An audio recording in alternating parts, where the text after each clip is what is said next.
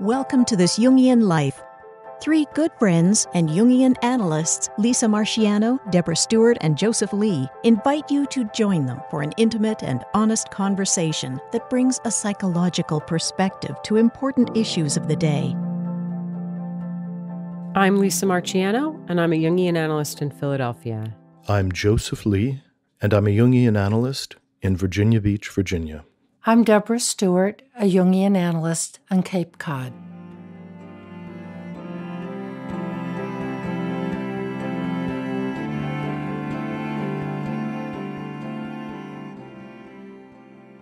Something special is happening. You are invited to join us on Saturday, July 13th for a live podcast recording Jung's American Muse, Christiana Morgan's Visions and Art. Our guest will be Christiana Morgan's granddaughter, the filmmaker Hilary Morgan. Hilary will share intimate memories of her grandmother, who, as a gifted and beautiful young artist, was one of the most important women to shape Jung's ideas of the feminine principle in psychology. Her visions and art illuminated the unconscious in ways he had never imagined. Together, we'll watch Hilary's extraordinary documentary Tower of Dreams, and after our discussion, the audience can ask questions. Click the link below to purchase your ticket at the small cost of $5. We hope to see every one of you there. Today on the podcast, we have a special treat. We are so happy to welcome uh, the the artist, art therapist, Jungian analyst, our kid training, our kid brother in training, who was right behind us, and our dear friend and colleague, Mark Dean, who is also current president of the Philadelphia Association of Jungian Analysts. So, welcome, Mark. We're going to be talking today about art and psyche. And I'm wondering if you could sort of just give us your your resume a little bit. Can you tell us a little bit about yourself? Sure, sure, be happy to. And thank you for having me, by the way, to all of you. Um, probably the best way for me to, to, to explain myself would be to tell you a little bit about my, my life path and my trajectory.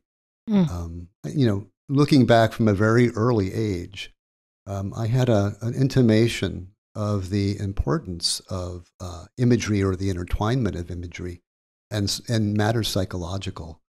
Um, in the home that I grew up with in Indianapolis, um, my father had books on the bottom shelf. He had Freud, he had Jung, and he also mm. had all the art books there.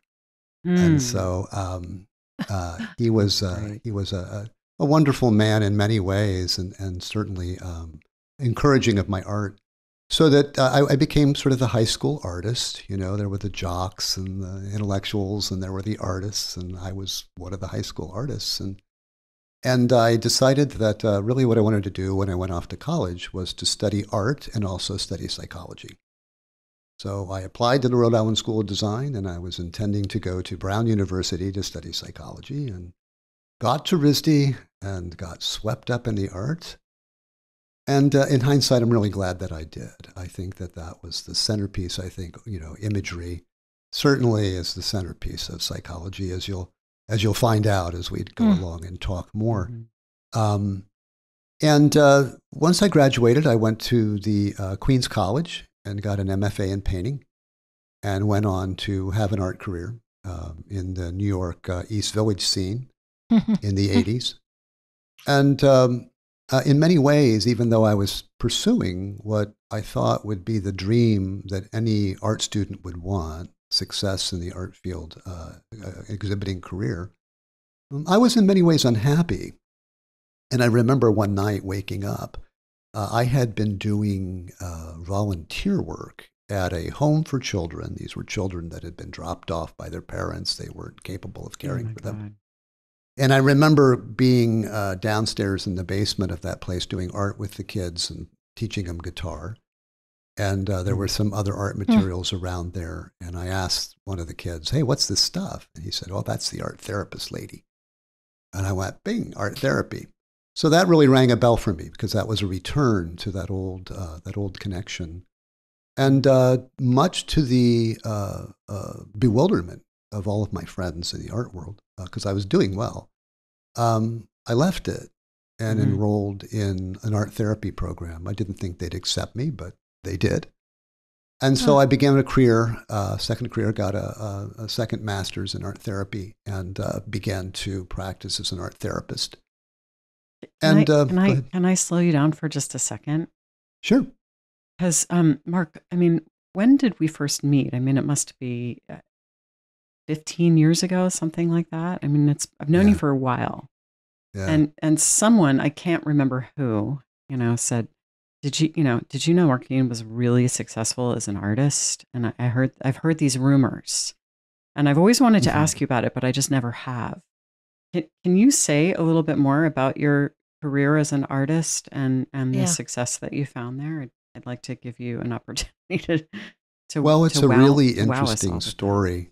Yeah, mm-hmm. it's a really interesting story. Thanks for the mm-hmm. question. Mm-hmm. Um, yeah. Not, not because it's about myself, just because psychologically it makes sense um, I did get swept up in doing the art, and I was trying to do all this heroic art that I thought would win me praise and success in the art world. And What's heroic art? What, what, do you mean um, heroic well, art? it was it was pretty much what the art heroes of the period were doing. There were large paintings, they were these abstractions, and so forth. And um, at some point, I finally kind of gave up on that, and I settled down into this these small little narrative paintings that I was mm. I would chuckle as I did them. I was like mm. laughing as I was doing these things and thinking to myself, no one will ever take this stuff seriously. Well, lo and behold, we have a mm. a, um, a, studio visit by um, a guy by the name of Ned Rifkin, who was um, a curator with a, a, big museum, and he came and and he looked at my artwork and he loved it. And so he had all these collectors come to my art studio to visit and they loved my artwork. And the next thing you know, I'm ah. getting this, this call from this gallerist in New York City, uh, which I oh. don't understand because I'm thinking this is just fun stuff to do. How can anybody quite take this seriously? But I think in hindsight, um, you know, I think we can understand that, that, that you get a vision of what you're supposed to be. Yeah. And then finally you discover what's really your voice, right? And that's what happened. But it, and that was bewildering too, because I was being chauffeured around in limousines by millionaires, and people were talking wow. about, you know, showing at the Whitney and stuff like this. And oh. uh, uh, one of the things at the end of my career, I get I get a call from you know my to die for uh, gallerist, gallery owner who who was up uptown Wow. And I go in to see her, and she said, Can you have a show this fall in London and New York? And I heard myself say yes, but inwardly I could hear the no. I can't wow. do this, you know. Oh my God. So uh, I can give you the image, actually, as long as we're talking about imagery. The imagery mm-hmm. was that my art was like a fine little sailboat that I needed to sense the wind with very carefully and guide myself. And what I was in was a gale. You know, I remember that oh, image very, mm. very profoundly. And that's when I, I left, you know, um, applied to yeah. a, wow. a, school in Philadelphia to study art therapy.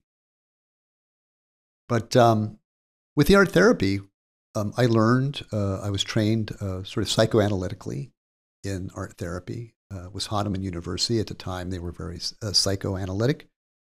And I found it very, very valuable. Uh, but then when I began to practice, um, I really began to find that the lens that I had been taught was far narrower than the hmm. material I was witnessing and the things that were happening. Uh-huh. And uh, that and a few other life events that sort of struck me as uh, coming from a direction that I didn't quite understand. Um, somehow or another, and I don't really know how I made this shift, but I, I uh, got online and I started looking up Jung because I'd, I'd, uh, mm-hmm. I'd, I'd known something about Jung. I knew that I resonated with it. And that just opened this door. And uh, as you guys all know, uh, having been in the seminar, yeah. that was like coming back to life for me. Mm. Uh, that How old was were you at that point, Mark? Oh gosh, you're asking me to give you numbers, not my strong suit. I was, uh, I think uh, in my 30s. Mhm. Yeah, 30, 35, something like that. hmm And uh, the first person I talked to when I called uh, um, the Philadelphia Association of Jungian Analysts was a gentleman by the name of Alden Josey. Oh, my who would gosh. later become my analyst. Right. And I I went to the first seminar, and he was he was uh, giving the seminar, and the seminar was Uh-huh. called "The Psychology of the Miraculous." Oh, and the the assignment was to read the four gospels hmm well i was brought up catholic went to catholic school the idea of reading the four gospels made my head spin and wanted me to just Mhm. vomit I, had been i had been you know you know beaten up by the nuns who saw me as a sinner and you know shoved a lot of things down my throat that were hmm and um, we got into the room and i think some of you might have been there actually I was there. I remember that assignment and thinking, Yeah. "Oh my God, uh, you can't just read all four Gospels." Uh, well i did I I did too, but it would made my head spin because it's it's so dense that Yeah. I, my eyes could go over the words, but absorbing it is that's a whole other process. Yes, and uh, you may remember this, because I certainly do. I walked out of that room floating. Um, Alden opened up those gospels, and what he focused on was the miracles. In, in, and no one had Yeah. ever told me yeah. that that was in those Amazing. texts. No one had ever showed me Ah. the richness that's Wow. in the Bible, you know? And this was a specialty of Alden's. Alden is now deceased, unfortunately. And, uh, you know, Alden, Alden, Alden showed me something that has been very profound in my life. He showed me that, that you, you don't want to look at things in a preconceived way, but to open Mm. yourself up to what's actually Mm. there. And he did that No, with Mark, the can I, Gospels. can I just interject totally for a revolutionized. second? Sure. Um, Mhm. I remember I had been interested in Jung. I'd been reading Jung and Jungians for a number of years. Then we moved to Philadelphia. I started the Philadelphia seminar September of 2000. And I remember the first seminar. It's so funny that you said that you floated out of there because I felt like I floated home. I, Yeah. I, I had a walk home and I felt like I floated the whole way. It was so remarkable. It was such a powerful experience. So I, I don't even remember who presented, but it was, it may have been um, Georgette but Uh-huh. um, it was just so powerful anyway. So Yeah. all right, Yeah, it going. was. It was very much. Uh, it was very much an ugly duckling experience. You know, Mm, Oh, All these that's- years, I I thought what what Mm. I'm seeing can't possibly be real. This can't possibly be the way it is. And oh, when he opened this material up and showed what was inside of it, I kind of went, "Oh yeah, it's always been there." yeah, it's beautiful. um, it makes my makes me tear up a bit to remember Alden, Yeah, and he was such a gifted teacher. yeah, Uh, And he did. He just opened it up, and then uh, time after time, I think we were all just blown away. Uh, it was Yeah. there all the time, ready to be seen. Um, but uh, it took someone to open it for us. And that's what I think you're going to do for us and with us and with our listeners today is to open up things that we see all the time, hmm but we don't know that we see what we see. Well, that's exactly right. I remember. I think it was Jim Hollis that came in one time and said, "There's another world, and it's right here." You know. Mhm. you know and he's he's right you know Yeah. and and this really has set me i remember being in this seminar and asking the question what happened to us as a people that we've forgotten our connection with all this stuff you know? What happened with religion that it became what it was? What happened when people no longer could trust their inner worlds and their inner images? How did that get severed you know? And I've, I've spent a long time actually trying to answer those questions um, and looking at those, those issues. And, uh, uh, you know, I, I don't know that I've gotten to the bottom of it, but I've, in the journey, I, I just keep bumping into massively intelligent people that have said over and over again, yeah, that's absolutely true. You know, there are these multiple levels to us that uh, our civilization has cut us off from. Mm-hmm. Mm-hmm. So that is such a great question of how did we get cut off from this and what are we even talking about? Are we talking about psychic imaging? Are we, what are we talking about? Uh, what have we been cut off from and how do we reconnect with that? Well, you know, I have a lot of stories about that. I could probably talk your ear off for a lifetime. Oh, go for um, it. Well, let me just give you a little bit of an anecdote. Um, and I, I, do have some, some ideas about that and ways to articulate that. So mm-hmm. I'll try to get to those as we go along. Um, I was teaching art therapy. I taught art therapy for about 35 years. Wow. And my experience was this I could walk into a room of students, undergraduate students, who had never done any art therapy, had never really looked at an image from any kind of critical perspective. I could put the image of a client up on the wall and I could just let them go to town to, with it to notice what they were noticing. And I can guarantee you, because I did it over and over again, that within 15 minutes they had told us volumes about who this individual was that they had never even met. Mm. The wow, problem wow. was that they couldn't trust it. They couldn't mm-hmm. trust that they were seeing what they were seeing. Now, if you, and I know you guys have, if you open up Jung's volume five, this is what Jung's doing. He's looking at Miss Miller's fantasies and he's taking them into him and he's finding out what they're telling him from within. And this is an innate human capability. Mm-hmm, it is yeah. not necessarily an acquired skill. People can do it readily. The problem mm-hmm. is, is they've been educated not to trust it and not to believe wow. what's in them. Wow. You know, you know, I, I just want to share that. Um, you know, we have people write to us after we interpret their mm-hmm. dreams on the podcast. Not all the time, but mm-hmm. but sometimes, mm-hmm. and they they re- they really say, you know, how did you know I had a trauma history? Mm-hmm. How did you how did you get all of the how did mm-hmm. you know this this yeah. and this from my dream? It was you know some people are are very moved by what what their dreams reveal. So I think you're that's yeah. I love that Mark that we we yeah. all know it and yet we've been educated not to trust it. I, I thank you for that. Yeah.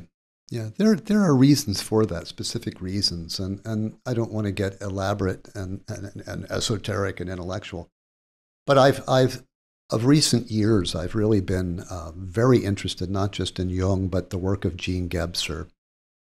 And uh, Jean Gebser was a poet um, um, um, and uh, uh, kind of a philosopher, and he studied language very carefully, and he began to realize that there were different structures in our psyches uh, he doesn't say it. He says structures of consciousness. Jung talks about le- different structures of, this, of the psyche. Many people who are familiar with Jung will remember his dream where he descends through this building and down into a cavern where he mm-hmm. finds two skulls. And I think this was on the trip back over from the Clark lectures or whatever with. Sigmund Freud. And Freud says, Well, you have a death wish against me. And Jung says, No, I'm actually discovering that we have many, many levels within us that go right back. Well, Gebser says the same thing. He says, uh, his book is The Ever Present Origin, which will tell you something about what the mm. content is. That all of that which we have inherited as human beings has not gone away. But what has happened is it has become sort of covered over.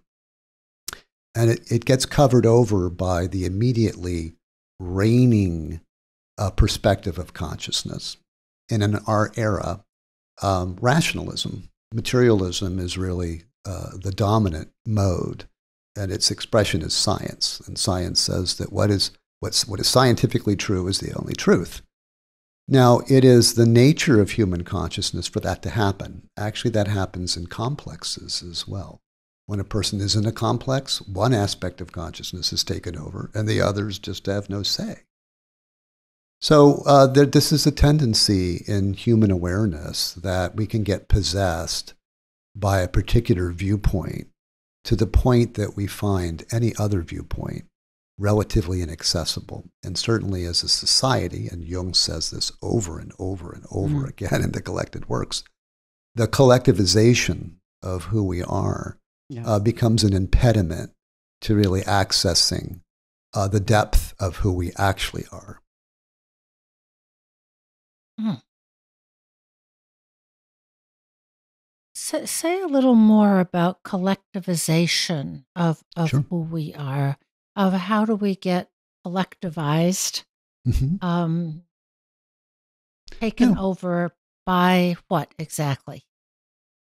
Well, I think in some ways, you know, the anecdote that I gave you earlier about my Mhm. art career, um, the idea that uh, based on my exposure to the art world and the values of my peers and what was showing in the galleries, I was adapting myself to what was expected Mhm. of me as an artist, Ah, right? And uh, that happens with all of us. Uh, the, the great, the great uh, um, um, historian Harari, who writes the book uh, *Sapiens: A Brief History of Humankind*, massively intelligent Mhm. man, uh, says um, most people don't want to admit it, but we all exist in myths, uh, pre-existing myths, you know, and that most of our lives are actions in service to that myth. Now, many of your listeners, I suppose, uh, I'm, I'm pretty sure, uh, will be understanding of the concept that a materialist society that believes that nature is something to be exploited uh, is having the negative effect of creating climatological disaster because Mhm, there's actually no actual connection to nature. There's a domination of it. And so this is, this is the problem. You see, people have been living in this materialist myth that begins really with the Enlightenment. Uh, primarily, it gets going. And Gebser would say that it is the domination of what he calls the mental structure of consciousness.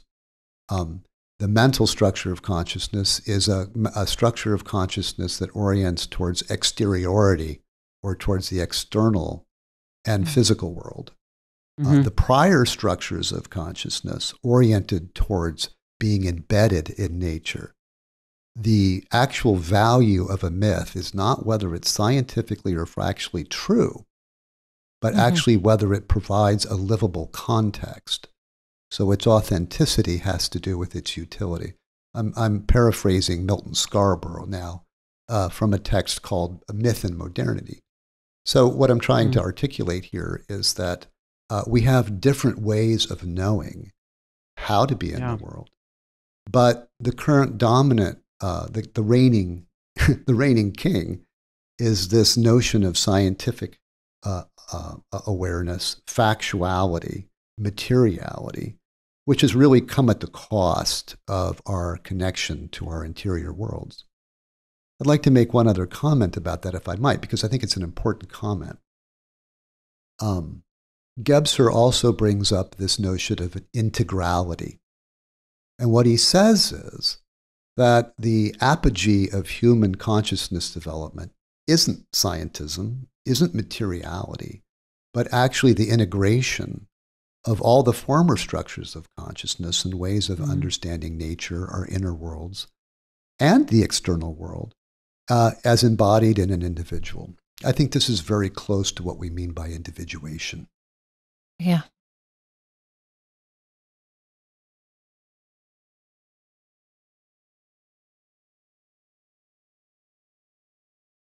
So, Mark, in your work in a consulting room, how do you facilitate that process of individuation with Mhm. the primacy of image?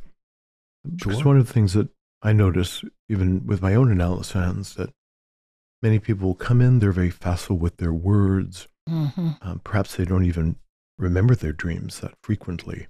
Mhm. But when we try to nudge into the visual imagination, or even asking them a, a little bit about their fantasies, it's as if there's a sentinel at the gate Mm. that makes it that makes it really difficult, or at least even if it's not difficult for them to experience it, perhaps it's difficult for them to say it. Yeah. So how do you negotiate this sentinel at the gate? That's a great question, Joseph. Hmm. I think first and foremost for me is, uh, and you know, I've been through enough analysis and I have had the experience. And I think that's one of the things why we go through so much analysis and training is because if it's real for us, we have a foundation in it. Mm. Um, I like what Jung has to say in the transcendent function that the analyst mediates the transcendent function, meaning that the analyst has to have within him or her the capacity to span between worlds, or else the analysand is never going to achieve that. Mm. So there, there may be lots of Mm. impediments uh, for people um, to to find ways to access that in themselves. But the first and foremost, my answer to your question would be: the analyst has to be um, aware that the psyche is always purposive, and so uh, whatever is manifesting then is part of psyche's plan and part of psyche bringing image forward in a guiding way.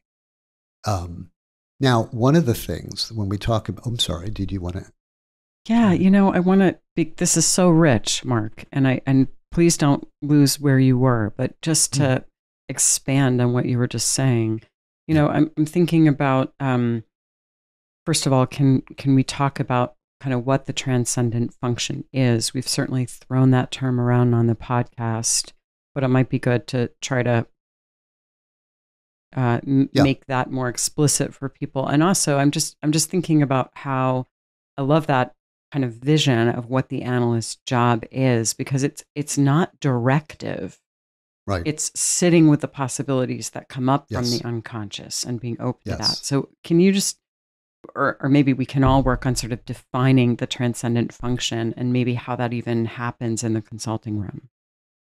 Sure. I'll, I'll give some of my perspective, which is incomplete. Uh, Mhm. uh, like yourselves, every I've read that essay Yeah. a lot of Yeah. times, and every time I read it, you know, I look at my highlights, and and and then I realize I yeah, pretty much have the whole thing highlighted uh, because almost every word is is profound. You know. Um, Mhm. And this really dovetails with so many things. You, you're going to get me started here, and I won't stop. Um, but I'll try. great stuff. So don't stop. Um, we become divided. In the process of adaptation, we become divided against our natures. We accentuate certain aspects of ourselves and we push away other aspects of ourselves. Mhm. But all of those things are part of ourselves. They are part, part of our faculties. And in the neurotic uh, formulation, an individual will have a conscious identification with certain contents and disidentify with other contents. And this sets up a conflict in the psyche.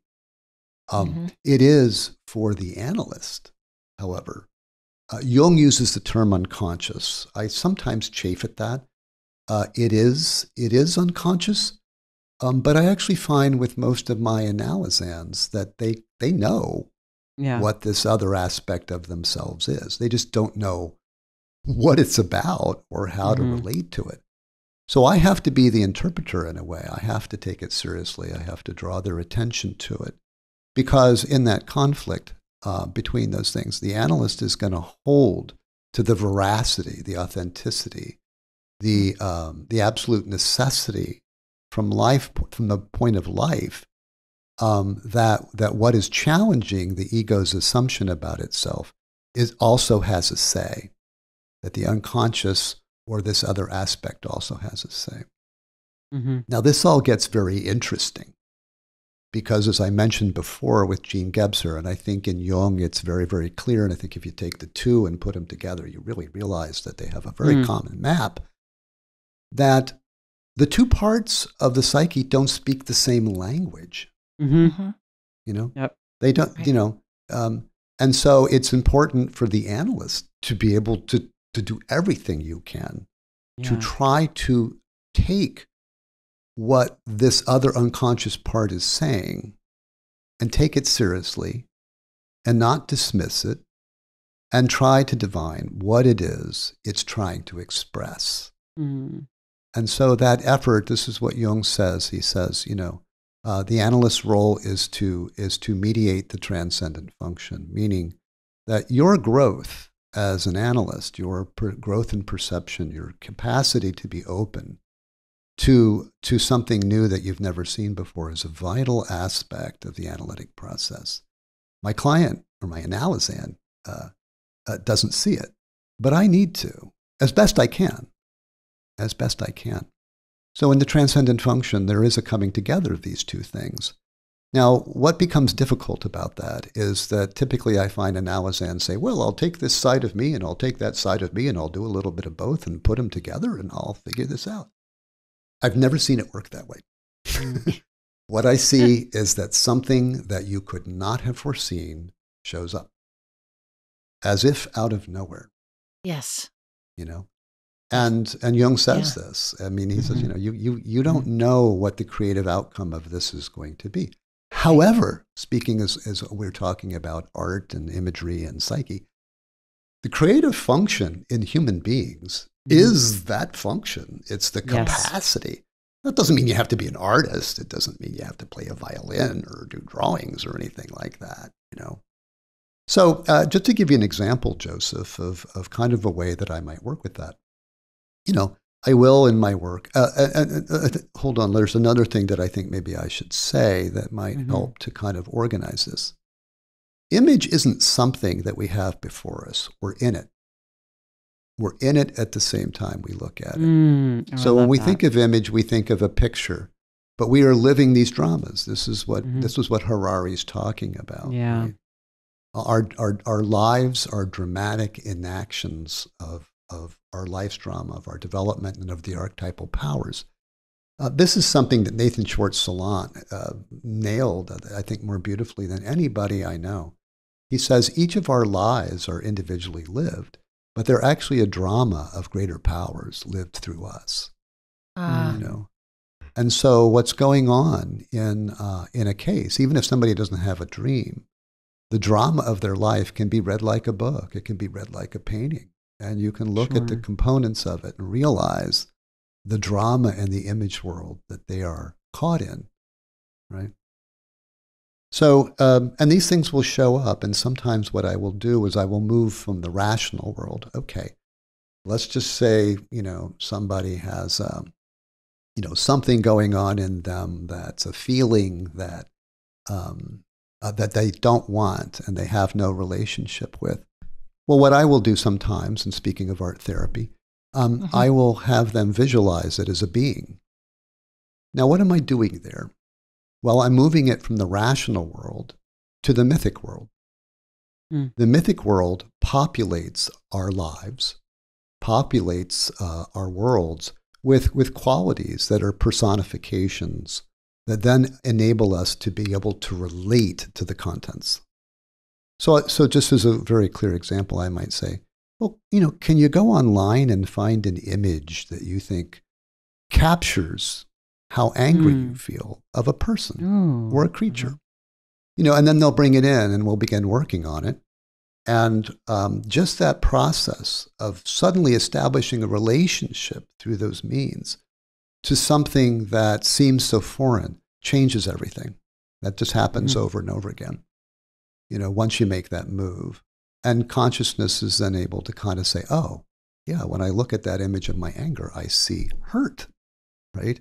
Or I see grief, or I see mm. loss, you know, and I and and you know, it just brings it up because the psyche and imagery, imagistic processes are constellative or constellational in nature, meaning that they're always drawing together a lot of contents from a lot of different directions to create their singularity. So that's one of the ways that I, I, I may work with those things.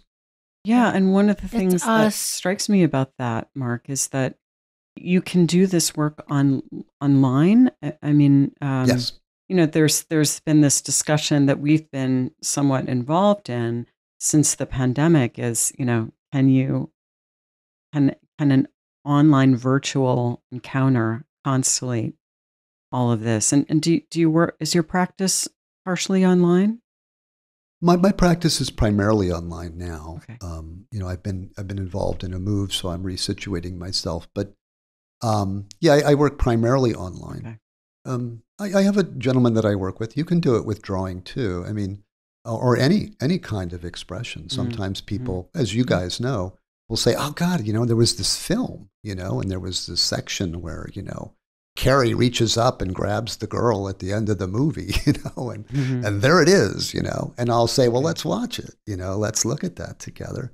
I have a gentleman that I'm working with now who, you know, just had a horrific childhood. And um, um, you know, I uh, he had a dream, and from the dream, uh, there was an abstract something hanging behind his back, you know, as he was watching something in the dream. And I said, "Bring it forward, you know, let's see what that looks like, right?"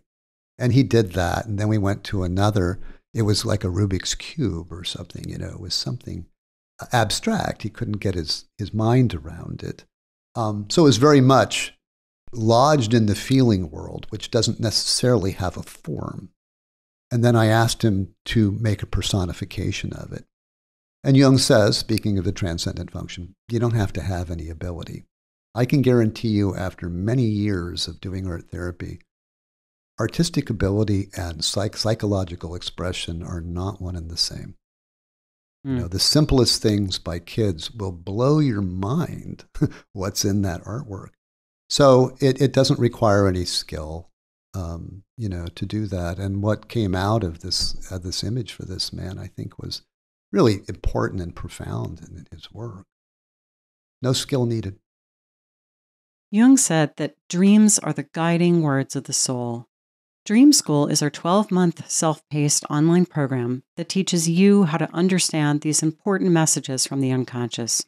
We break down the essential skills teach you how to apply them, and offer opportunities for practice. You can become part of a vibrant community, join a dream group, or share your dream with other students. There are monthly live Q&As with Joseph, a chance for one-on-one time with Deb in her office hours, and monthly dream seminars with me, Lisa. Visit our website, thisjungianlife.com, to learn more or sign up. Well, Mark, you were leaning into this uh, thing that we see in analysis that sometimes body sensation and feeling and image are not woven together in the psyche, and that yeah. produces a kind of suffering and symptomology. Yeah. So I'm wondering how you understand that separation of those things, and and have you seen some cases that you can talk about where those things come together and how that facilitated a process? Yeah, that's a great question, Joseph. I, I do have an example of what you're asking about. Um, there was a, a, young man that came to me uh, who insisted that he was severely mentally ill. And uh, he was of the opinion, he just graduated high school. He um, was of the opinion that his parents had sent him to me so I could convince him to go to college. Uh, I had no such agenda. I said, okay, you know. Um, I, I, actually didn't buy that he was seriously mentally ill. Um, I had a pretty strong intuitive sense that this was a pretty strong individual in many ways, but I didn't know what was going on. Um, he began to tell me that he had a lot of somatic disturbances. He would become nauseous, and he would uh, uh, not go outside because he was nauseous. He wasn't agoraphobic. Mm. He was uh, socially very capable, uh, a force to be reckoned with. Actually, he was a, quite a quite a strong guy. Um, as the uh, work progressed, I kept going back and forth in, in, in a verbal manner, trying to uh, put together a, a, kind of a psychological, theoretical formulation for the onset of these, uh, of these symptoms. Um, and um, uh, would, would formulate, as we always do, uh, psychological formulations are also myths that we tell ourselves about what we're looking at, and that is the goal of psychological uh, theory is that it allows us a mythic lens into what's going on. And it seemed like there was some, there were some things that um, could could account for these uh, symptoms. Um, but as we went along, there would suddenly be as if we had put the uh, put things together again and a bowling ball would come hurtling down and knock the whole thing down. And I was always baffled. And so there was constantly this back and forth between, well, is this physiological? Is this psychological? What is this? Mm. He had hmm. been to many, many, many doctors, and the doctors shook their heads. Nothing wrong with you. This is all in your head. Mm. So at that one point, so unhelpful to people. Yeah, yeah, yeah. Well, it was. It was. And it turns out they were wrong. But um, actually, you know, in this case, what's interesting is he pushed me. He goes, Well, you do art therapy too, don't you? And I said, Yeah, I do. And I had never hmm. thought to actually ask him to draw. A very verbal, very bright, very intelligent young man, and um, good with concepts. Um, but we did. And I had him draw, uh, draw what uh, we call a scribble projective. And in a scribble Mm. projective, it's a way to get the, the unconscious contents. You scribble on the page for a period of time, and then you make associations to what you scribble. And then you ask the person to choose one of their associations and complete a drawing. That's one version of the scribble projective. Mm. And he did. And uh, it was immediate, immediately. He looked at it and he said, you know, essentially, um, that's Hmm. me. That's my, that's, that, that is the part of me that's ill. Hmm. And um, uh, I asked him what he felt about it, and he said he felt sad for it. He felt compassion. Before, he had felt hatred of it. Mhm. So, you know, going back to the transcendent function, you've got a something in the unconscious or something of which he's not aware that's part of him. And his attitude towards it is hostility and antipathy, Mhm. you Mhm. see. And so that's the ego attitude towards the unconscious contents. Now, Jung tells us quite clearly the unconscious cares about the attitude consciousness takes towards it, you know, says that explicitly. And here, what happened when he was able to look at this image of this scribble, he was able to say, This is a suffering part of me, and I have compassion for its plight. Mm. And that just opened a huge door. And we began uh, to continue with the scribbles, and what began to happen was in his world, there was a whole Mm. um, cast of characters in there and a whole dynamic. The work, the artwork was just laying out what was going on in his psyche to the amazement of both of us, by the way. Mhm. Mhm. I, I, I later had a dream about him that I was in my mudroom and he came in and he handed me a little bit of food. And I took Huh. it and ate it, and it was the most delicious food I ever had in my life. Oh God. You Oh, know, you know, it was, it was, uh, you know, Jung says, no doctor who is incapable of being changed by his patient is likely to be of much help to that patient, you know. And this guy has changed me uh, really irrevocably. But to continue the story, uh, one of the things that would happen is that with the onset of his symptoms, he would become what he called the kid. And it was a little inner child that was trapped. And uh, he began, uh, the kid began writing me letters, you know, telling me about myself and telling me the things that were helpful. And uh, there was also a So it was like monster super. It was like supervision from the self or something. Yeah. Well, yeah, it was, and and this this goes case. to what we're talking about, right? There was a piece of him personifying and communicating Mhm. what was going on. We see this in active imagination all the time, don't we? The person Mhm. enters the dream, somebody shows up and says, "Well, let me guide you here," or you know, Mhm. "No, this is not what you think it is at all. This is something Right. quite different." And so this kid was was talking. So I thought I was hot on the trail. I thought, at least I've got now I've got it, you know. There was only one problem.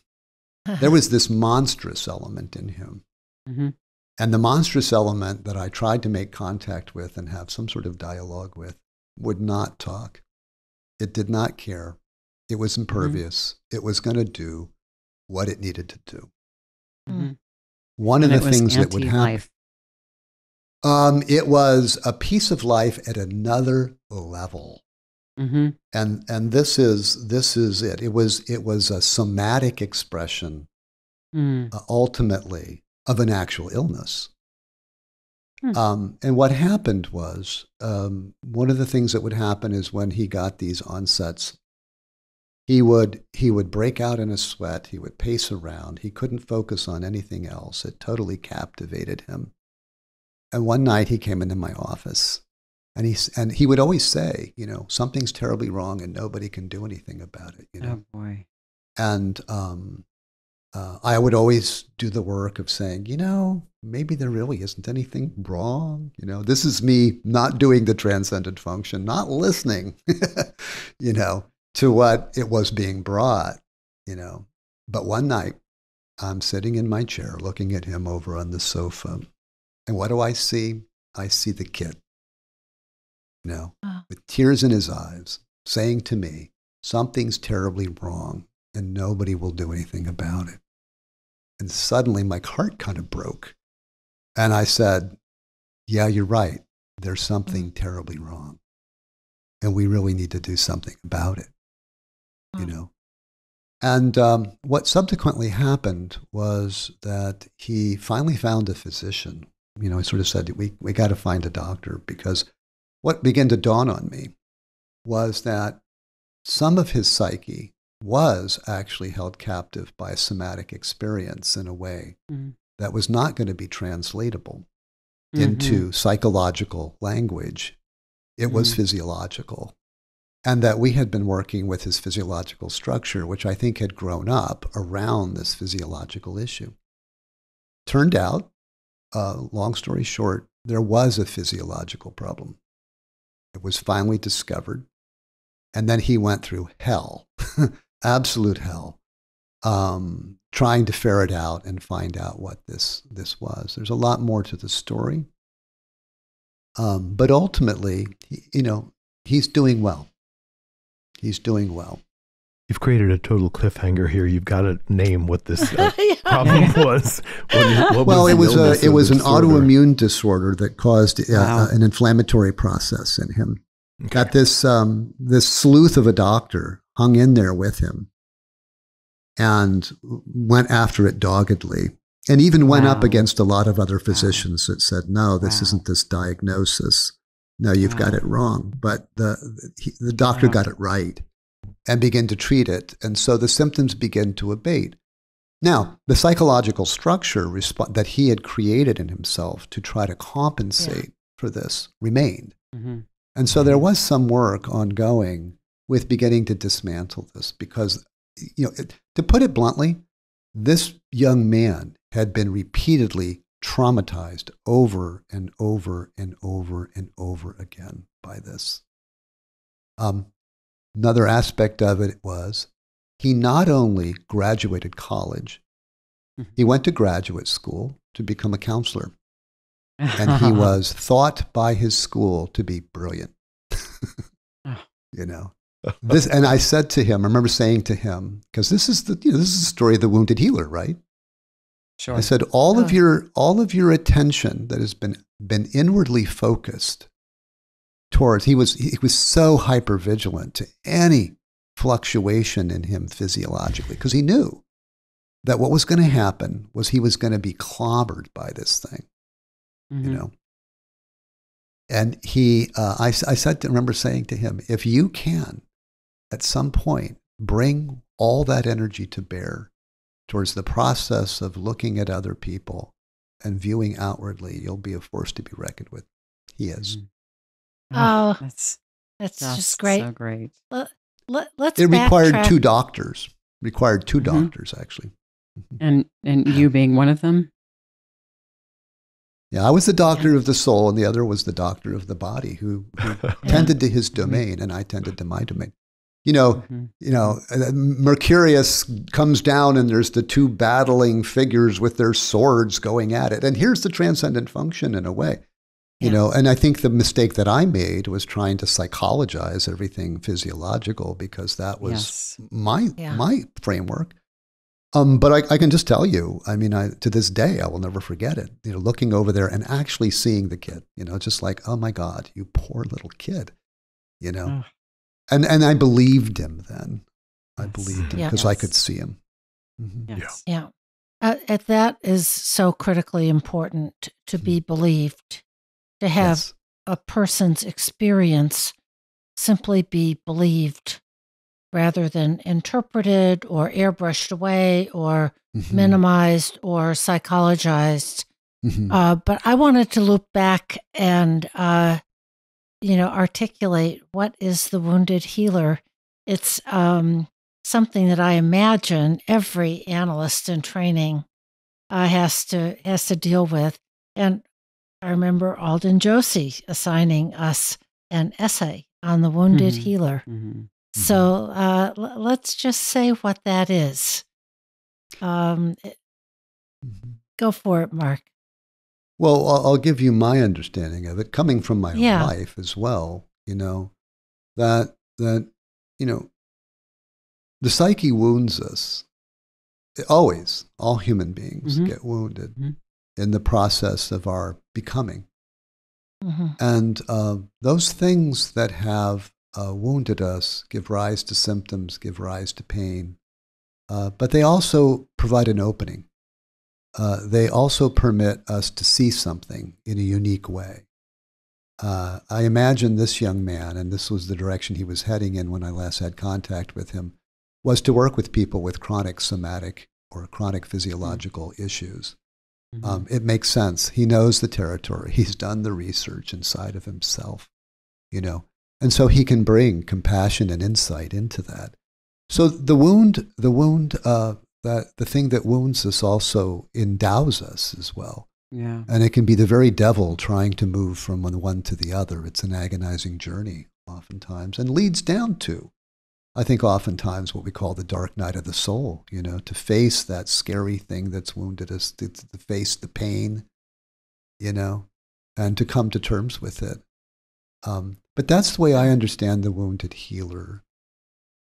That the wound is an is also an opening, Yes, and and when we can find that opening, yes, you know, like like your young man did, uh, then it becomes a, a portal uh, to connect with other people and to connect with in a felt, intuitive, experiential kind of transcendent function way with what's Mhm. going on in in other people. Uh, yes. I mean, the alchemists say you will find it in the filth. And, you know, my Mhm. understanding of that is you will find it in the very thing you detest and the thing that you Yep. hate and the thing you Yeah. least want to touch. Mhm. That the gift is there, you know. And uh, again, it's, it's uh, you know, people, it, it, you just can't say that and everybody go, oh, great, I've been wounded, you know. uh, what a gift, you know. Um, nobody wants that. But, but the reality is it's there. And I think it's really important, you know, from an analytic perspective, for us to understand that potential and hold out hope for that potential. Well, just to, to take a little side note for some of our listeners that not, might not be familiar, but um, also the transcendent function for Jung was his discovery that the ego and the unconscious can talk to each other, Mhm. and Yes. that that things come out of that dialogue. Yes. And as you were saying, sometimes our wounds, our physical and psychological suffering, call our attention so powerfully to a place or beckon us to a place. And as the ego takes an interest in that, that interest is a kind of conversation. Yes. And if we can, um, if we have a space, as you did with your client, to, to try to get words around that conversation, Mhm. that begins hopefully to slowly move things along. The scribble drawing is a way of having that conversation. And I'd love for you to uh, describe that process a little bit because I could imagine some of our listeners wanting to try it. It seems like an, a wonderful um, way to, to take a little step Mhm. into facilitating uh, a- a conversation with the unconscious. Uh, and then, of course, dreams Mhm. are part of the, the conversation and what we might do with it. Mhm. So you you had spoken so eloquently about that, but um, but there is a little bit of a definition around that that I think could be helpful. Yeah. Yeah, well, well, thank you for that. I actually I actually loved what you said about the transcendent function. I thought it was beautifully stated. Um, yeah, the, the conversation and the relationship are very important. You know, one of the things that art therapists always talk about is the idea of objectification. That things that are what this means is uh, most of you, most of your listeners will will know something about uh, funerary art or tombstones. Mhm. And, and, and, and when somebody is lost to us, they've simply disappeared, we need some physical thing to have a relationship with them still. You know, and this is why you have things like tombstones. And we also need a ritual, by the way, to, to handle um, um, that transition from one state to Yeah. another. But that's a whole nother another piece to this. Um, to describe the scribble projective is uh, you close your eyes for a brief period and scribble on the page and stop when you're ready. And then what I would do is I would hold up the image and I would have them look at it and say, you know, what comes to mind as you look at this, like a projection, like an ink blot test. And they would give me associations and I'd write them all down. Now, I can guarantee you that even in that process, a lot of stuff comes to the surface, right? But they'll pick one. I say, okay, here are these, here are these associations. Please pick one. And then they, well, I'm gonna, I'm gonna do a, a little creature, is what this guy said. I'm like, well, you know, complete a picture using the scribble that if somebody came in, they'd say, I see the little creature, you know, and you can use whatever you want to fill it in. And he did. And the little creature in this drawing, he put a ground line. And underneath the ground line, he put three demons that looked like fiery demons underneath. And the little creature was scurrying away through the night, and flames were coming up under its feet. You know, how evocative is that? You know, these things down below uh, in the unconscious, in the soma. You know, where was this down below? There's many down Mhm, belows, mhm. but in this case, I think it was largely unconscious and somatic. Mhm. Um, and then and then we put it up together and we look at it, and I just say, what you know, what comes to you? What do you notice? And uh, you're just asking some really simple questions like, you know, what do you what do you see? You know, what's the narrative here? Um, what do you feel about what you're looking at? Those kinds of questions uh, are helpful. Uh, again, as with dream interpretation, and I'm sure everybody in this room has had this experience of working on your own dreams when you were early in training and uh, banging up against the wall, and you know, because our own complexes tend to inform what we're looking at. You know, that's what a complex does. It hijacks perception. It sort of says, well, this is what's allowable to see, and this is what it should mean. And so part of the process of the analyst, or in the case of art therapy, the art therapist, is to stand as the intermediary and to actually hold that there are more possibilities that the individual themselves has uh, uh, the capacity, really, or the orientation to engage with. Now, that's not always the case. Uh, that's definitely not always the case. Um, um, creative process in and of itself can reconnect people to things in quite a natural way. You don't always need the interpretive process. Mhm. Um, Mhm. I, I had a case with a young man, came in with some really bad behaviors. You know, his parents said they think he's bipolar, and you know, I kind of didn't want the case. You know, to be honest with Mhm. you, and I kind of let it lag for a while and let me think about this. And they came back to me and petitioned to me to see this young man, and I began um, a project uh, where I thought where the therapy should be directed. This was before I was an ana- analysis. And um, he got really frustrated with me because this isn't helping me, you know. And I said, okay, let's just do this. And so I, I initiated a drawing with him, you know, and, and, and uh, what happened was things came up in the drawing, and I just said, okay, next what? What's the next drawing? And he took me on this journey Wow. For about four months. And all I did was say, oh, well, what's going on in there? You know, he, this kid was Mhm. about 15, 14, 15. So what's going on in there? You know, well, what's the next thing that happens? Well, who is that? I just interviewed him about it. And the whole thing just flowed. And at Hmm. some point, his symptoms disappeared, and his mom comes in and says, "Well, we're ending therapy now. The uh, the Effexor that he's on is finally starting to work." you know, Oh You know? You know? but I, I, I said to the kid, I said, I don't think this has any. You've been on Effexor for a long time. Nothing's been changed. I've had so many cases like that, you know, where everybody's medicating some, you know, medical model diagnosis. This kid had some issues in terms of he Mhm. was a little bit atypical neurologically. Mhm. Um, but he also had some issues with uh, you know, his mother wasn't really tuned into him. I don't think she knew quite how to relate to him. Um, and and I think what what as I look back, Jung says this wonderful thing: we don't know the diagnosis until the case is over. You know? That's great. You know, yeah. and I find that to be true. You know, you've got to go. I, I really don't know Yeah. what's going on here. I think I have an idea, and I'm trying to get there. But there's really something about the analyst's deep investment in that process and Mhm. caring about it, you know, that I think is huge. You know, I think that that's that that's actually if you look at psychotherapy research, the psychotherapy research says that it says the, the, the greatest differential between therapies is not the type of therapy, it's the therapist. And whether or not the therapist is using a model that they authentically feel comfortable in and, and Mhm. believe in, Mhm. right? And wish to be helpful. Wish to be helpful.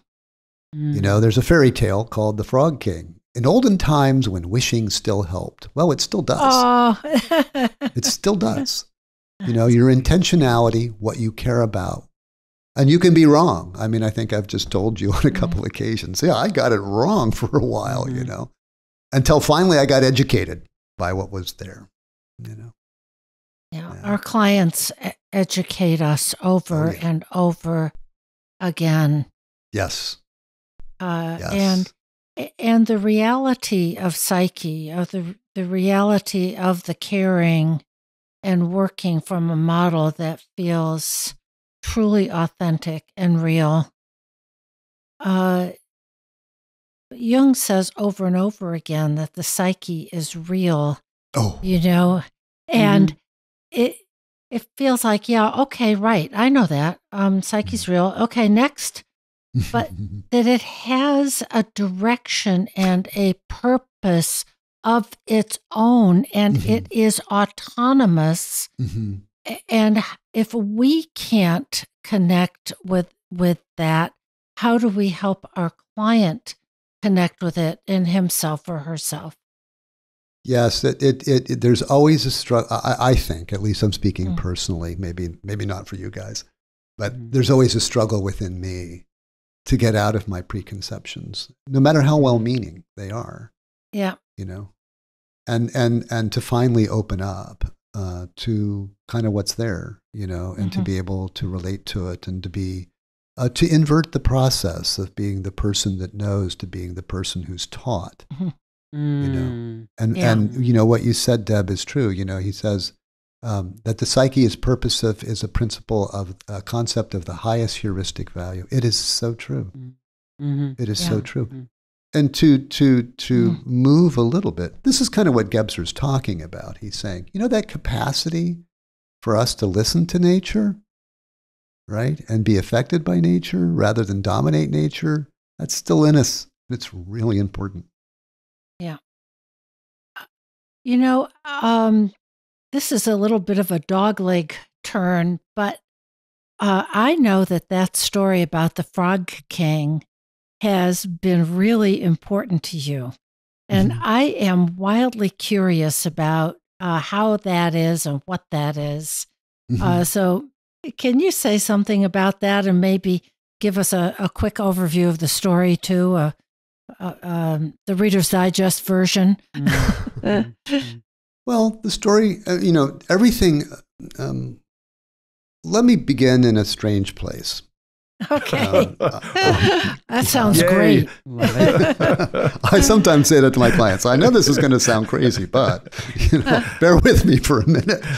You know, in, in Jung's introduction, his foreword to the, the I Ching, Mhm. he says, well, you know, the Western mind sectorizes, encapsulates, quantifies everything. Mhm. He says that was not true of the mind that created the I Ching, which, in the image of the very moment that you're in, all the little details Hmm. are interrelated and important. Mm. So, so what I would say, just to, as, a, as a broad concept, the image of the moment can only be understand, understood imagistically, by which I mean as a complete whole in which all the little details line up according to some principle.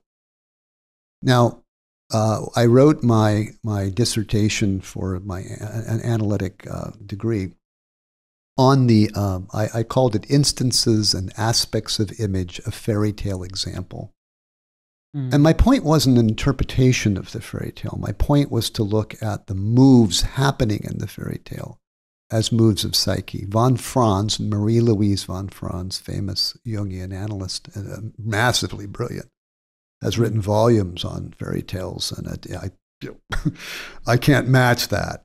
But I did my own journey through it, uh, as much to educate myself and wake up myself to what was there. It was more of a, a voyage of discovery into the fairy tale.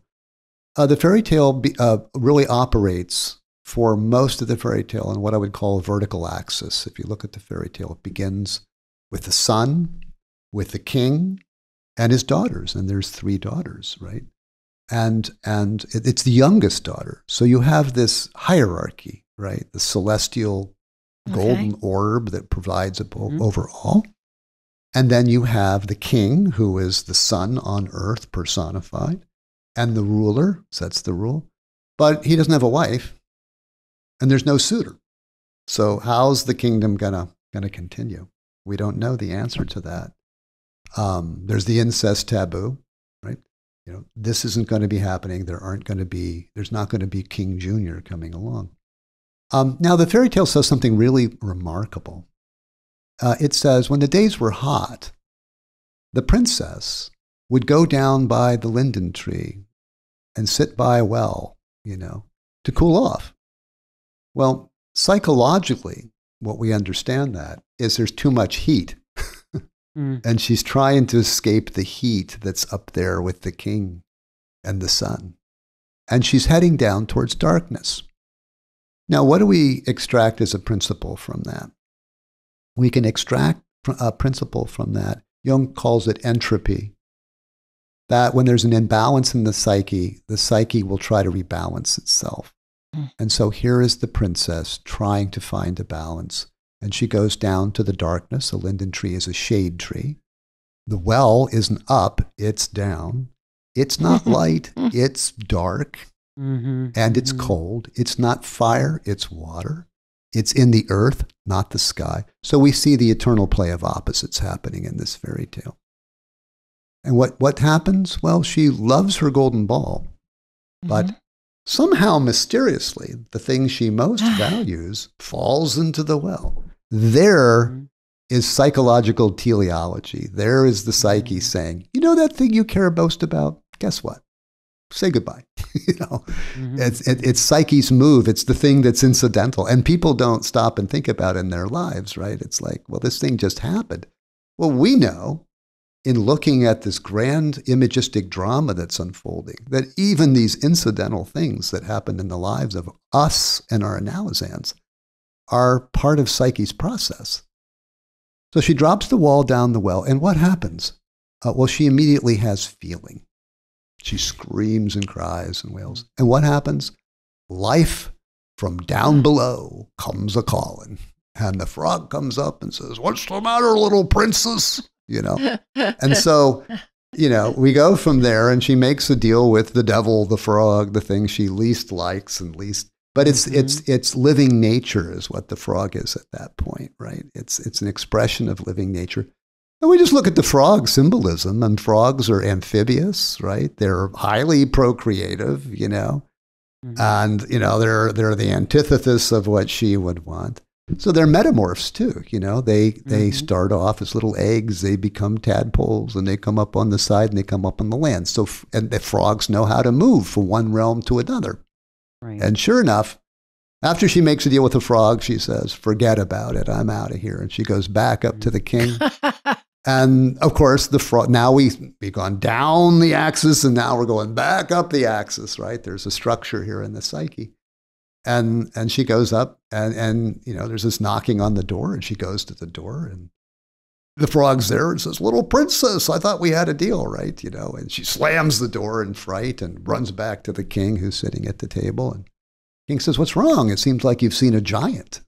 Because actually, that's the way her psyche sees the frog, as if it's massive and dangerous, right? But she knows, and we know, that they have a destiny with one another. And that, mm-hmm. speaking of the transcendent function, is the conflict says, you have a destiny with something in the unconscious. It's coming calling for you, mm-hmm. and you're going to have mm-hmm. to meet it, right? You know, the analyst knows this you know, at least in principle, doesn't know the outcome. You're quite right. What's going to happen? We have no idea how this is going to come, come out. So she, um, you know, she's always just a nasty frog, and she tells the king that she made a deal, and the king says, You know, you made a deal. You need to kind of stick with it. Mm-hmm. Here, the ruler is sticking to the rule. So she sticks with the deal, brings him in, and he actually eats from her golden plate, you know, with her. It means they, you know, the, finally the frog and she are eating from the same plate. You know, how symbolic. You know, we're both, we're, we're on an equal level. So it comes time to go up to bed, and she carries the frog up. The king says, You, know, you need to go up there. And what does she do? The little princess becomes an actual animal, a murderous animal. She Mm. suddenly becomes instinctual.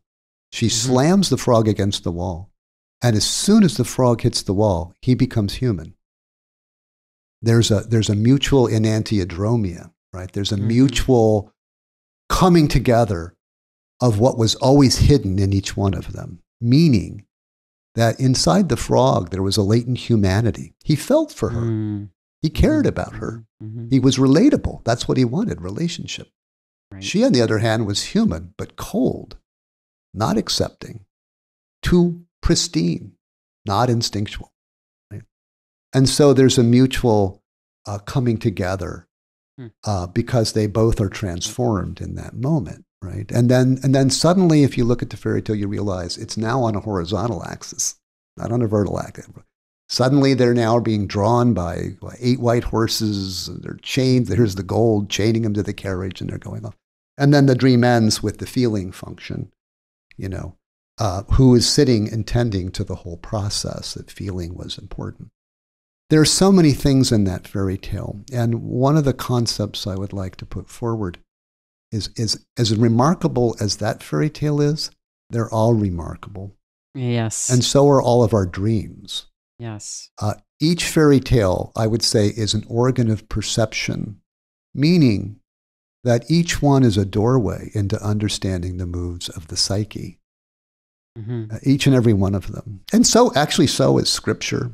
You know, so are the great Mhm. religions, if we can look at them properly. They are portraits of the soul in action, and Mhm. so are the dreams. It's beautiful. So um, That's I just really I just learned so much. I mean, I, I, I, I think I just barely squeaked by graduating with that. Um, I, I got I got uh, passing with distinction on my cases, which I didn't expect.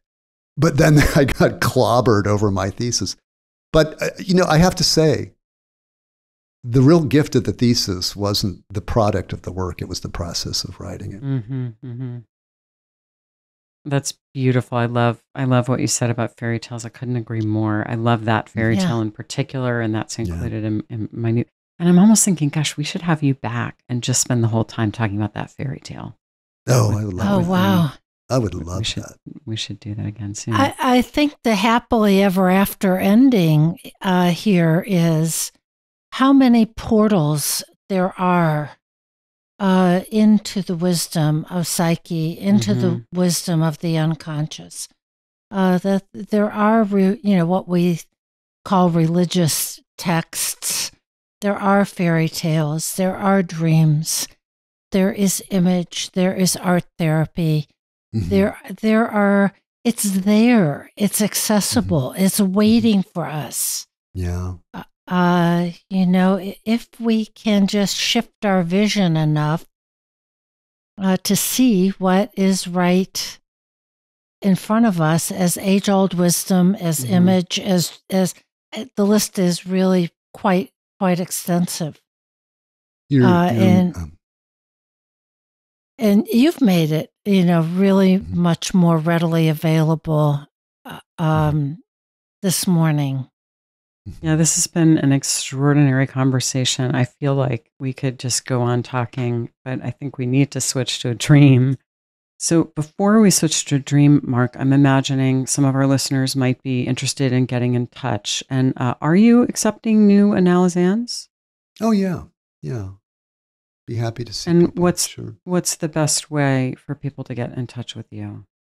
Uh, the best way to get a hold of me would probably be just be my email, um, Okay. which I think you guys can post online. But do you want me to give it verbally? yeah, why yeah, don't you what go ahead and say it? Yeah, it's going to be my name, M A R K D E A N, the number two, at mac.com. Mark Dean 2 at mac.com. And before we transition into a dream, I would love to tell people about Dream School. that we have a program online which we've designed with you in mind to help people keep a dream journal and really carefully and meticulously unpack the secret messages that the dream maker is providing for you. That there is something deep and profound inside of you that is trying to reach out, trying to help, trying to illuminate important things. So if you go to our website, thisjungianlife.com, click on Dream School, we have a wonderful, informative page where you can take a look at that offering, and hopefully we'll see you there.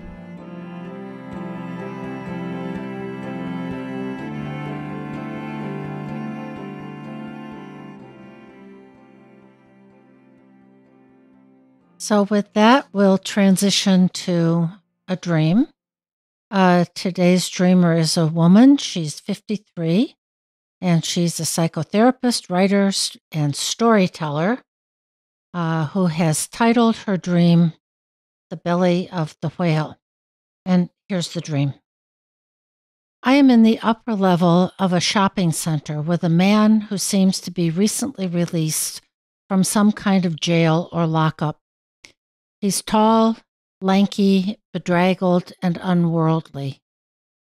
I am tasked to take him somewhere in the center, but we keep getting trapped in a department store amongst high end fashion labels that seem outrageously colorful and ridiculous, almost Alice in Wonderlandy.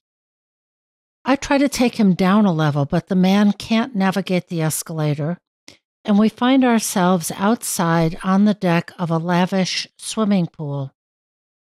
Both of us are in the pool, and a freak wave takes me under. I am stuck underwater. There is a ledge above me, stopping me find the surface. Panicking. Then I realize not only can I breathe, but I'm in a cavernous room, and a woman sits opposite me. I say, how long have you been here? And she says, Six months. Welcome to the belly of the whale. I realize the walls are pink, and indeed, I'm inside a whale. I ask her why she hasn't tried to escape through the blowhole, and she leans forward, head in her hands, passive, resigned, given up.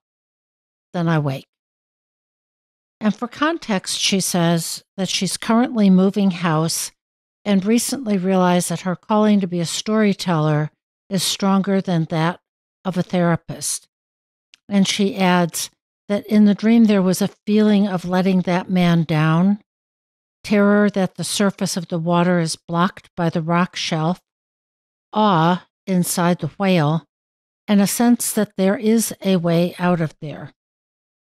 Uh, she also adds that she has no interest in fashion and that where she lives, whales are currently migrating. So, with all that, before we start working we on thinking? this dream, I just want to say I want to share my repeated awe whenever I encounter a dream. I mean, what you just read, it's so it's so beautiful. It's so full of mystery. It's mm-hmm. so full of life. I have no idea what it means. But I marvel at the psyche's ability to produce these products, that the ego could mm-hmm. never create something like this. And I think it's just sort of an example of the territory you took us into, Mark, like the incredible creativity of the unconscious. Even even mm-hmm. before even before we know what this dream means, I just stand in awe of it.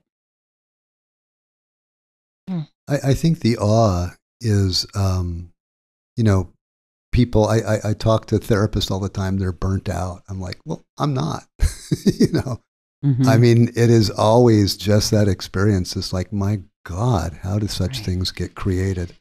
And you will find, as I found uh, not only in the dream world, but the art therapy world in, in general, when the psyche speaks, it's precise. Yes. Yeah. Yes. It's precise. Dreams it's, are it's very not, precise. Yeah. It's not random. It's not a mistake. It's not an aberration. It is spot on. We can't always nail it down because the, Mhm. the language is really sometimes well beyond us. But boy, the things we get to are stunning. Yeah. And that's why with a dream, it's so important to pay attention to the precise image that the psyche Mhm. has supplied. Yeah. Okay. Mhm. So for the setting, we're in a shopping center. Uh, I, I think about the upper level. She's on the upper level, uh, sort of like I'm thinking back to the Frog Prince, hmm you know, upper level versus down in the well, but upper level of a shopping center and maybe a little bit of a psychic play on words of something uh, at the center uh, with an opposite sex person who uh, seems to be newly released from some kind of jail. So Mhm. something has been liberated. Um, although this image of the man is, you know, it's not all good to go. He's tall, lanky, bedraggled, and unworldly, but Mhm. newly released into a center at the upper level. And you also have this this image, even though the dreamer doesn't necessarily identify with high style and fashion, between the bedraggled man, you know, his demeanor, Mhm. and this would be shopping for a nicer image. Yeah. You know. yeah.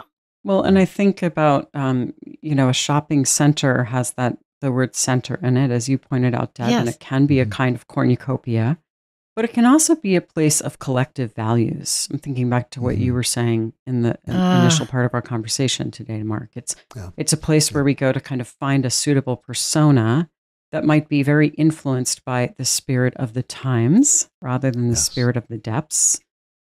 Um, so we don't know more. The dreamer didn't say more about her uh, feelings about shopping centers. So we're just kind of reaching for the dominance here. But I think both of those things are included.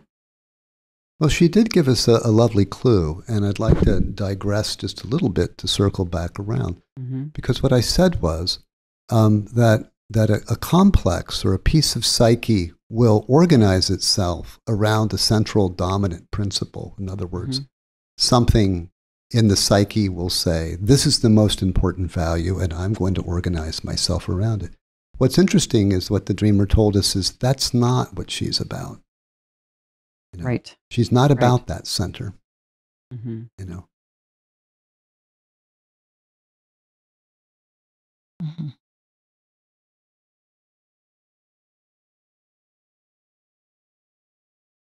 And she has a task. Mhm.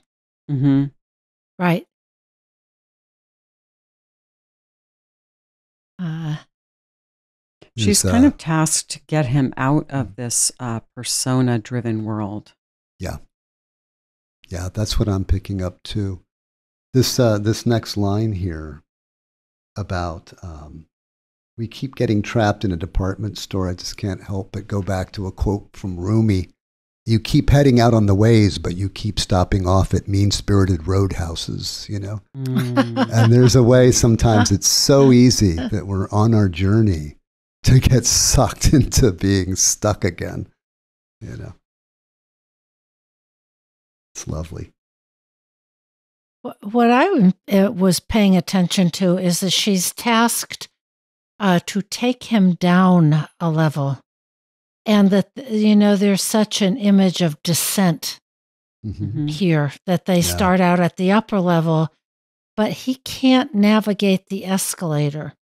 So, so then the down is when they are in the pool. Mhm. Mhm. uh, under the, and she is under the water. Mhm. So this is really going down. yeah, Right. And There's of a, um, course, this brings to mind the imagery from the alchemical text of the Rosarium that Jung wrote about in uh, the psychology of the transference. To be to be in the bath, to be in the pool together, to be in the same uh, psychological place of uh, sort of soaking in the unconscious, as it were. We've both Mhm. descended, and there's a kind of abaissement. yeah. I'd like to add in just a one little detail here that catches me, and it goes back to what I said about Jean Gebser. And he talks about the mental structure of consciousness, the mythical structure of consciousness, and the magical structure of consciousness. Um, I see a hint of a movement into the magical structure of consciousness Hmm. with when she says almost Alice in Wonderland. Hmm. It's a movement from the idea of the temporal world into one that is more magical. And uh, one of the things that's difficult to, to, to explain all this here, but in fact, it's one of the reasons why we do move into these kinds of magical places and these mythical places, because transformation in inwardly is not going to happen on the level of merely moving around different fashions outwardly. It's going to be more of a mythical, magical world that we're going to enter into. Hmm. Well, one of the lenses that I'm just going to toss on all of this is the uh, rosarium. Mm-hmm. So we start with a male and a female. The male has just been released from some kind of a jail. The woman who's in the belly of the whale is trapped in some kind of a jail. hmm Mm-hmm. The man and the woman are taken into a pool, which is central in the rosarium. But when she and the man finally get in the pool, the ego's main attitude is, can't we get out of here? Mhm.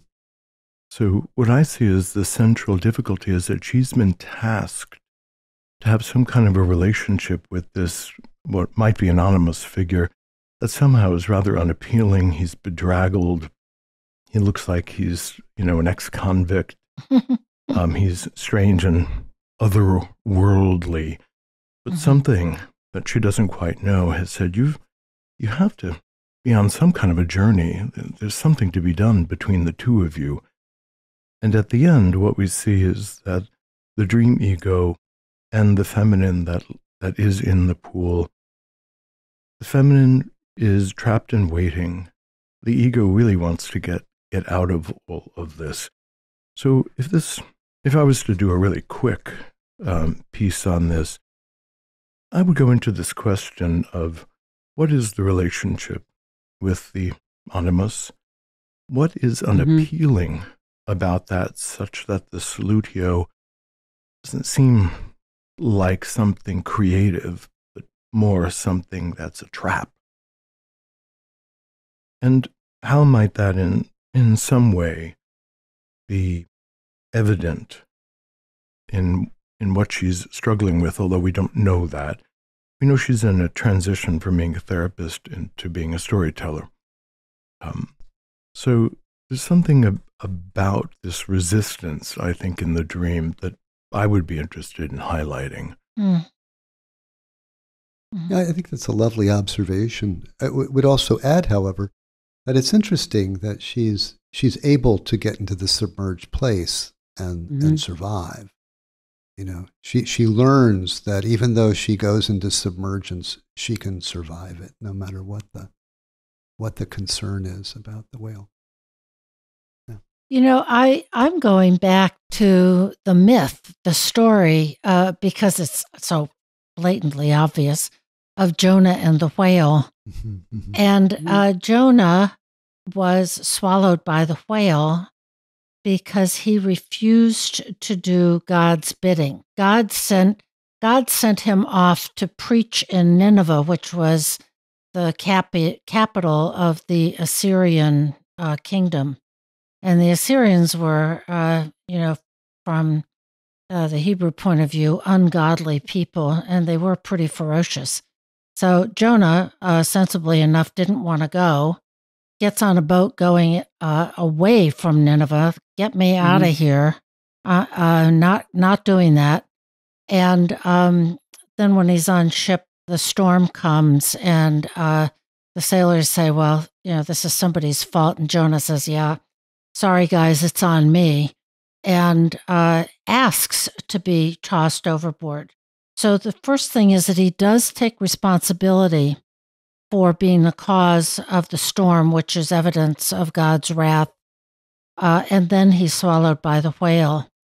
So if I um, you know, take that into this dream, I think about uh, is there a Nineveh in this woman's life that she Mm-hmm. was or is kind of supposed to, in quotes, uh, go to and has refused?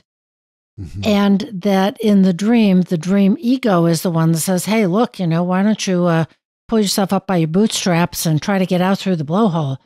But that's not how you get out of the belly of the whale. Mm. The way uh, something else, uh, you know, in the story, uh, God takes the whale, of course, right to Nineveh and uh, vomits Jonah up on the shore where he uh, where he goes and preaches very successfully in Nineveh. They're all Mhm. very receptive. So I wonder if something else has to happen uh, to liberate our dream ego from the belly of the whale, which is sort of a depressive place with the woman Yeah. inside being passive, resigned, giving up. Uh-huh. Well, and you do have to kind of resign yourself to the Lord's will, right? Or the, the will of the self in psychological language. Yeah. I also love, Deb, that when Jonah pops out of the whale, he's the storyteller. You know, he's oh, the that's preacher. great. That's great, he's out there preaching, That's preaching the great. stories. Um, you know, he's not writing books or doing therapy. He's uh, Yeah. spreading the news. That's right. He has a story to tell of here is the one true faith, um, so to speak. And uh, everyone is really receptive because his voice is now authentic, hmm having been infused with the power that this, you know, awful experience has given him. But now he really knows. Yeah. Uh, he's not operating from ego about this is the right religion and here's what I need to tell you. Uh, this is really he knows it in his in his Mhm. guts now. Mhm. So when we come to the Animus image that had just been released from a lockup, tall, lanky, Yeah. bedraggled, unworldly, kind of looks like Jonah probably did when he popped out of the whale after that terrible Yeah. digestive experience. Not, Not looking, looking so not looking great. good. No. Not, probably does in fact need some new clothes. Um, so in a way, with with your amplification, is that a foreshadowing hmm of um, how she's going to come out of whatever this storytelling adventure is, perhaps looking bedraggled, uh, needing some support. And and I have an intuition, Joseph, that that you just helped me make, which is that you know the task is to descend, but Mhm. she may not fully understand what that means because she thinks it means Mhm. going down to the ground floor. So it might mean, uh, okay, I think I have to get more practical here. I think I have to get more grounded in reality. I think I have to come down to earth. But in fact, the descent that's required is more of a spiritual descent into the water Mm. and into the belly of the whale. So it seems like she didn't do the right task by taking him to the pool, but in fact, that's where she needed to go.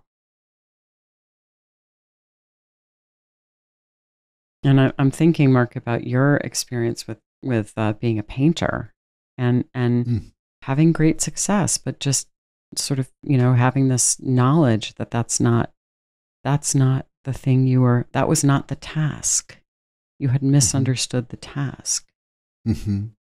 Mhm. Yeah, I sometimes have an analogy that I call the bowl analogy, the marble in the bowl analogy that I share with some of my analysands. And I said, you know, as egos, we keep trying to put the marble of ourself on the e- lip of the bowl, but it keeps rolling to the center, you know, Mm, mhm. you know. And I, I think that's part of what maybe we're talking about here, the common denominator in, in my life and uh, maybe in this woman's life, perhaps, that, you know, Mm. that uh, you know we do keep stopping off at mean-spirited roadhouses and sort of missing the turns and missing psyche's messages to us, and Mhm. um, we are then compelled. you know, the psyche has its own specific gravity, and it's going to draw you where you need to go. Mhm. Can I bring in a quote, another quote from Rumi? Sure, yeah, There is one thing in this world you must never forget to do. If you forget everything else and not this, there's nothing to worry about. But if you remember everything else and forget this, then you will have done nothing in your life. It's as if a king has sent you to some country to do a task, and you perform a hundred other services, but not the one he sent you to do. So Mhm. human beings come to this world to do particular work. That work is the purpose, and each is specific to the person. Mm-hmm. Oh, that's just beautiful. Yeah, yeah. Mm. You know, Joseph's uh, amplification that he brought um, made me think of the Syriac tale of the hymn of the pearl, Mhm. right? And what you're talking Mhm. about, Lisa, and and the the royal robe of gnosis. In the tale, the, the, the young man is tasked with going down to Egypt, the land of the unclean, and he has to get the pearl of great price from the snorting serpent that lies there, you know. And he goes down and he totally forgets about his task. He assimilates to the Egyptians. And then finally he gets a message oh, no, you need to complete this task. And he does it and he comes back and he actually does get the fancy clothes. He gets the royal robe of gnosis that is glittering Mm. and beautiful, you know.